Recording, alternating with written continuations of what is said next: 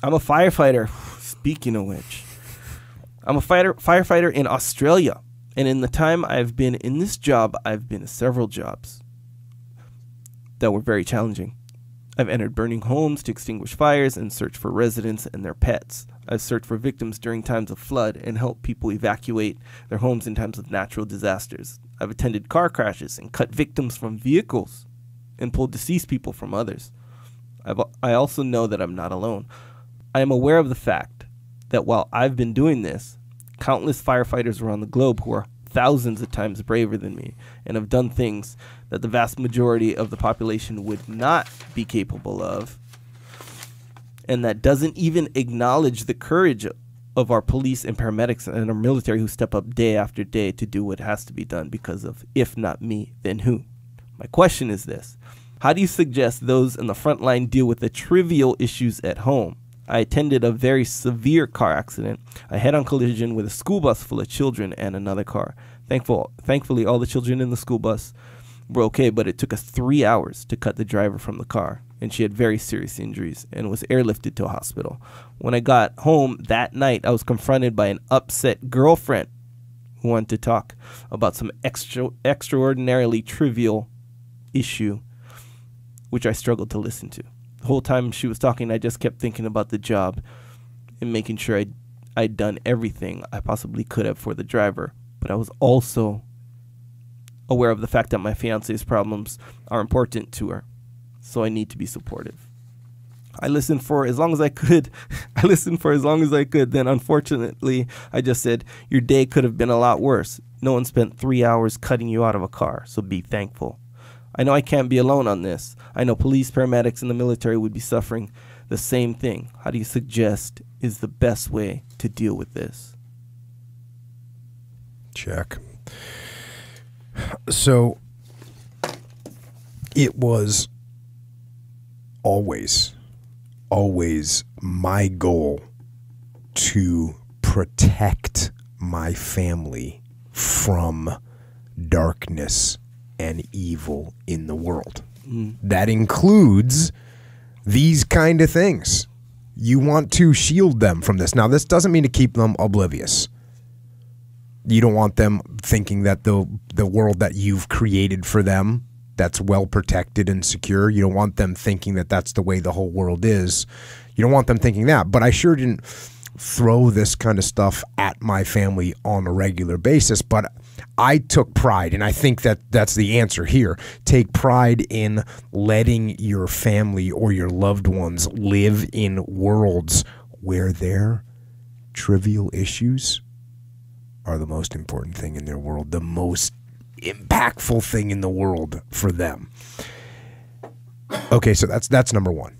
Mm-hmm. And if you get yourself a little bit of of satisfaction every time your your significant other complains that um, you know the the ice machine isn't really working up to full speed. It's really horrible. Mm-hmm. Right? You yeah. should you should be proud. Think to yourself, yeah. Well, you know what? Let me let me take a look at it. Yeah. Maybe there's a kink in the water line. I don't know, but we'll try and get that thing up to speed, so you can have cold drinks. Because that's where I want your world to be, right? I want you to have plenty of ice. Yeah, yeah. So for your drinks or whatever. Uh, so that's that's it. If you can if you can put your your family in that kind of a protected environment, you should be proud of it, and you should be. And the way they indicate that to you, they don't say, "Hey, thank you for letting me live in a protected environment." They don't say that to you. They, yeah. they they're in an environment they don't even know that they're in it. Yeah. The way they the way they let you know that they're in that environment is when they when they complain about trivial things. Yeah. So that's number one. The other thing is try and try and see things from other people's perspectives. You know, in in this case, my my wife's right. To my my wife would say things is a big deal to her, and for her, it was a big deal. And like I just said, I wanted it to be a big deal for her. And also, I'll tell you what. We're talking about firefighters and military and police, but this goes to other non-uniformed jobs as well if if you can leave your work at work because you think some you know every job There's stresses at every job, and you're out there grinding, and you're in trouble with the boss, or you're trying to get a project fig- figured out, and you've got all this stress coming down on you, or you've lost money, or you've got a huge deal on the table, or whatever the case may be. If you can isolate your family from that as much as you can, and I'm not saying to an unhealthy level where you're just not telling them what's going on, hmm. but bear the burden, man. Bear the burden of that you that you hold to protect your family. So yeah, um, that's what I think. That's what I think. We we do our best to protect our family and our loved ones from the darkness, the pressure, the stress, the evil in the world. Again, you don't make them oblivious. You don't disconnect from them in order to do that, but you shield them from it and you bear the burden yourself so that they don't have to bear it as much. Again, you don't want your kids growing up to be spoiled. You don't want your wife to be saying, if I don't get of a latte this morning, I will absolutely not even. right? You don't want to be married to that person. Yeah, not even. I did that pretty good, didn't I? One, My middle daughter is like the funniest person ever, and she can do all these crazy. I steal, I'm stealing her material right there because on. she'll do that. She'll Yeah, say, yeah. she'll say, "That is so. Oh my God, it's not even." you know, and she's kidding because she knows that there's human beings like that in the world that say "not even." There's Yeah. nothing at the end of it. Uh, yeah, I've never heard sentences. that. I think that might be something new. Oh. That's not even. You know, I've heard I can't even. Well- oh, I can't even. Oh, it's the same thing. Same thing. Yeah, yeah. Some updated. Yeah, New age. just, just a different angle on it. but yeah, hey, thanks for uh, thanks for doing all that hard work, man. That's um, that's awesome. I know I see firefighters, police officers, military people all the time. I hear Yeah. from all the time, and yeah, try and shield your family as much as you can. Don't drag them down the down into the darkness with you, yeah, it seems like a good way. and take pride in it. That's what I was gonna exactly what I was gonna say. Mm-hmm. It's like take pride in. It's like embracing the role as like the captain kind of thing. Yeah. You know where it's like yeah, you know, wife's mad about you know they put cream in her coffee and she asked for non-fat milk. That's from Seinfeld, by the way. Um, and you know whatever, and she's pissed.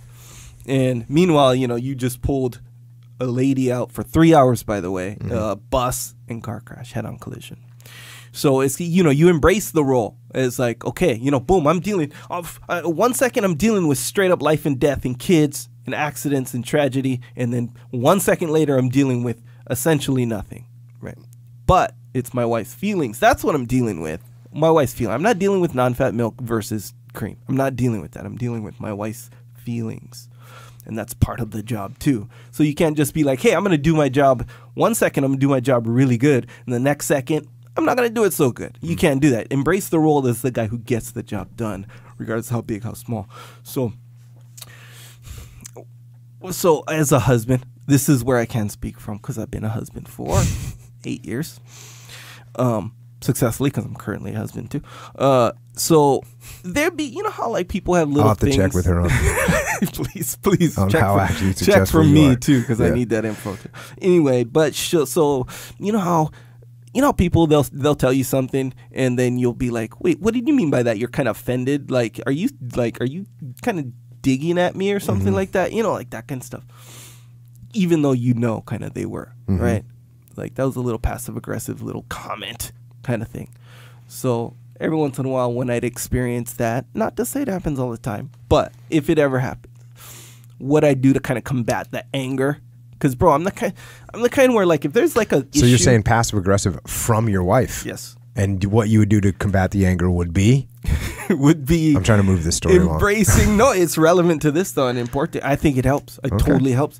Where I embrace the role of the, the I don't know for lack of better the captain. You know, embrace the role of captain. Where sure she's passive aggressive, whatever. You know, maybe I'll over time I'll start to understand more or whatever.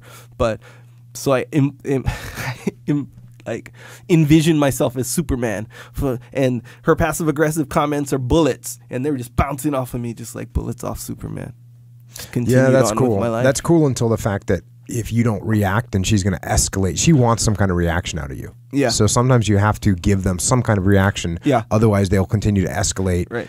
to a point where you do react. Yes. Yeah. Uh, uh, So I learned that a, a while ago. Yeah. You know, yeah. No reaction is is not always good. Right. So I, and I don't. You got to say you got to say the bullet hits you, and you got to say, oh, that that bullet hurt. Oh, um, yeah, I, I should be a little more careful when Yeah. the bullets are flying around. That's I- wow.